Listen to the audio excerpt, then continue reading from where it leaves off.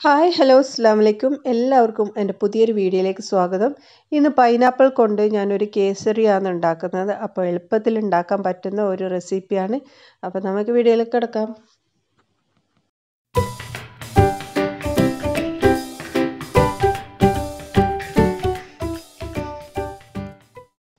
ഞാൻ കേസരി ഉണ്ടാക്കാൻ വേണ്ടി ഞാൻ പാനിലേക്ക് കുറച്ച് നെയ്യ് ഒഴിച്ച് കൊടുക്കുന്നുണ്ട്. ഒരു ടീസ്പൂൺ നെയ്യ് ഒഴിച്ച് അതിലേക്ക് നമ്മുടെ റവ ഇട്ട് കൊടുക്കുക. ഒരു കപ്പ് റവ എടുത്തിട്ടുണ്ട്. അതൊന്ന് നന്നായി വറുത്തെടുക്കാം.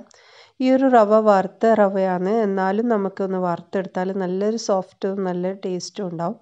അപ്പോൾ നല്ല സോഫ്റ്റ് ആവാൻ വേണ്ടിയിട്ട് റവ എപ്പോഴും വറുത്തെടുക്കണം. ഉപ്മാവിനായാലും നമ്മുടെ കേസരിക്കായാലും റവ വറുത്ത് കഴിഞ്ഞാൽ നല്ലൊരു സോഫ്റ്റ് ആയിരിക്കും.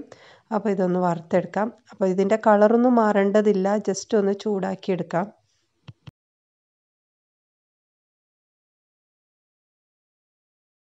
റവ നന്നായി വറുത്തെടുത്തിട്ടുണ്ട്. ഇനി നമുക്കിത് മാറ്റി വെക്കാം. ഇനി ഇതേ പാനിലേക്ക് ഞാൻ കുറച്ചും കൂടെ നെയ്യ് ഒഴിച്ചു കൊടുക്കുന്നുണ്ട്.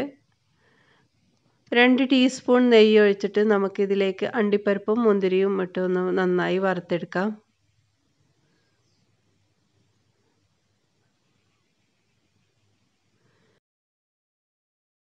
അണ്ടിപ്പരിപ്പ് മുന്തിരി നന്നായി വറുത്തെടുത്തതിന് ശേഷം ഞാനിതിലേക്ക് നമ്മുടെ മെയിൻ ഇൻഗ്രീഡിയന്റായ പൈനാപ്പിളാണ് ചേർക്കുന്നത്. അപ്പോൾ പൈനാപ്പിൾ നന്നായി വേവിച്ചതിന് ശേഷമാണ് ഇതിലേക്ക് ചേർക്കാവൂ. അപ്പോൾ നെയ്യിൽ നന്നായി വേവിച്ചെടുക്കണം. അതിന്റെ വെള്ളമെല്ലാം വറ്റിയെടുക്കണം.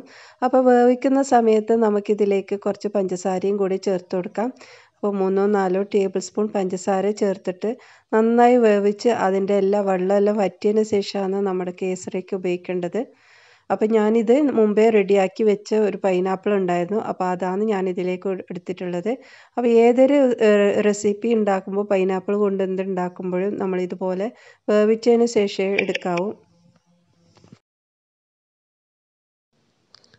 അപ്പോൾ പൈനാപ്പിളിന്റെ വെള്ളമെല്ലാം വറ്റി നന്നായി റെഡിയായതിന് ശേഷം നമുക്കിതിലേക്ക് നമ്മുടെ കേസരിക്ക് വേണ്ട വെള്ളം ഒഴിച്ചു കൊടുക്കാം.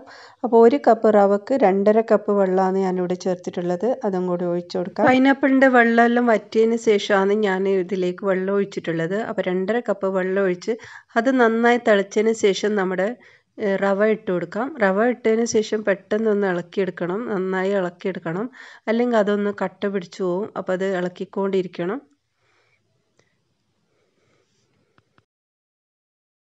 ഇനി നമുക്കിതിലേക്ക് കുറച്ച് യെല്ലോ കളർ ചേർത്ത് കൊടുക്കാം. അപ്പോൾ വളരെ ചെറിയൊരു ഡ്രോപ്പ് മാത്രമാണ് ഞാൻ ഇതിലേക്ക് ഇട്ടിട്ടുള്ളത്. അപ്പോൾ യെല്ലോ കളറും കൂടി ഇട്ട് നന്നായി ഇളക്കിയെടുക്കാം. ഇനി നമുക്കിതിൽ പഞ്ചസാരയാണ് ചേർക്കേണ്ടത്. അപ്പോൾ മധുരത്തിന് ആവശ്യമായിട്ടുള്ള പഞ്ചസാര ചേർത്ത് കൊടുക്കാം. അര കപ്പ് മുതൽ മുക്കാൽ കപ്പ് വരെ ചേർത്ത് കൊടുക്കാം. അപ്പോൾ അരക്കപ്പ് ഞാൻ ചേർത്തിട്ടുണ്ട്. എന്നിട്ട് നന്നായി ഇളക്കിയെടുക്കാം.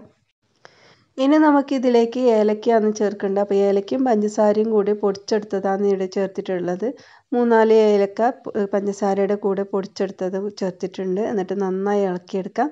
ഇനി നമുക്കിതിലേക്ക് നെയ്യാണ് ആവശ്യം. അപ്പോൾ നെയ്യിന്റെ അളവ് അരക്കപ്പാണ് നമുക്ക് ടോട്ടലായിട്ട് വേണ്ടത്. അപ്പോൾ ഇതിൽ ഇടയ്ക്കിടയ്ക്ക് ആയിട്ട് ഞാൻ നെയ്യ് ഇട്ടുകൊണ്ടിരിക്കുന്നുണ്ട്. അപ്പോൾ ഇതിലേക്ക് ഇപ്പോൾ ഞാൻ മൂന്ന് ടേബിൾ സ്പൂൺ പഞ്ച നെയ്യ് ഇട്ടിട്ട് നന്നായി ഇളക്കിയെടുക്കുന്നുണ്ട്.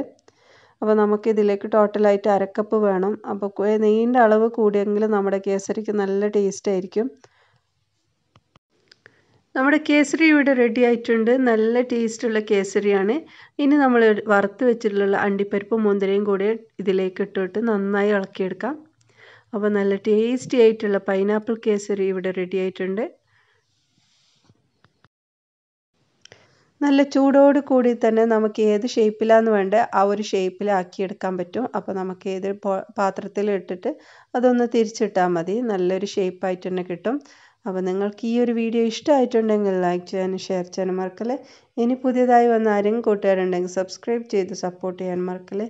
ഇനി അടുത്ത നല്ലൊരു റെസിപ്പിയുമായി വീണ്ടും വരാം. ബായ്